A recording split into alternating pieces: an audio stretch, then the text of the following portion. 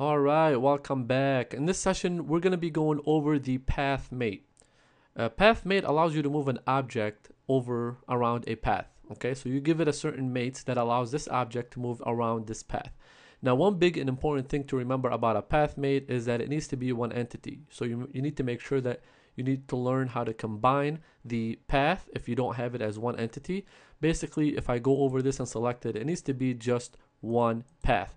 If it's cut up, so say for example, this is cut up into one over here till this dot, two, and three.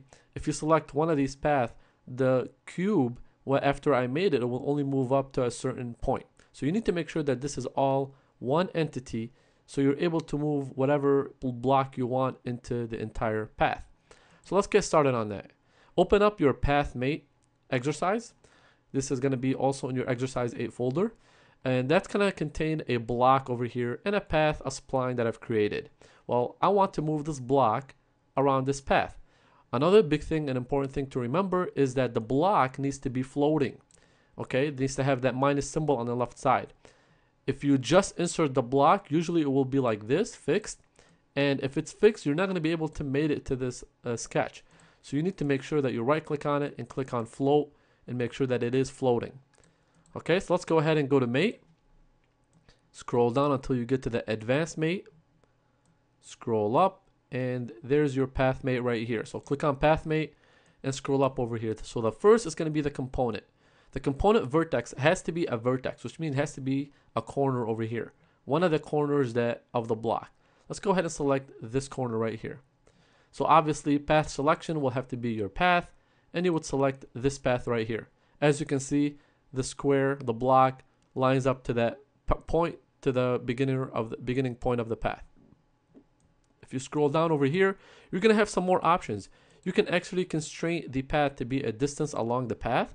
For example, a certain amount of distance that you can move the block. As you can see, as I move this up or down, it changes.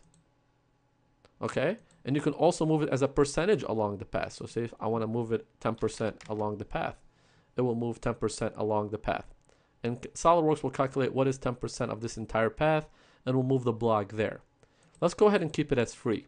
You can also, obviously, if you click on one of these, uh, you can flip dimension, okay? Which means it goes to the other side of the block. And click back on that. You can also uh, have the freedom to change the pitch and yaw of the con uh, yaw control to follow the path. And you can select which path you want it to follow, either X, Y, and Z. And you can also flip it. As you can see, when I flip it, it flips around whatever axis I have selected. If I go to Y, okay? And also the last but not least, I'm gonna go back to free over here. Free control, and you can say up vector. And also up the vector, you can select have the freedom to select a vector, but we don't have that right now, so I will leave that alone. Let's go ahead and keep everything as free. This way we're able to move it after we're done with our selection and click on OK and okay again to accept it. Let's go ahead and zoom in a little bit and take my block. And as you can see I can move it all the way around. It only moves around the path. So even if I want to go this way it's only gonna go towards the path okay? It's only gonna follow around the path. So there you go. If I move it around smooth it will move around the path. The best way to actually move it around if you go to the top view and you can see how you can easily move it around the path okay? So that's how you use the path mate in SolidWorks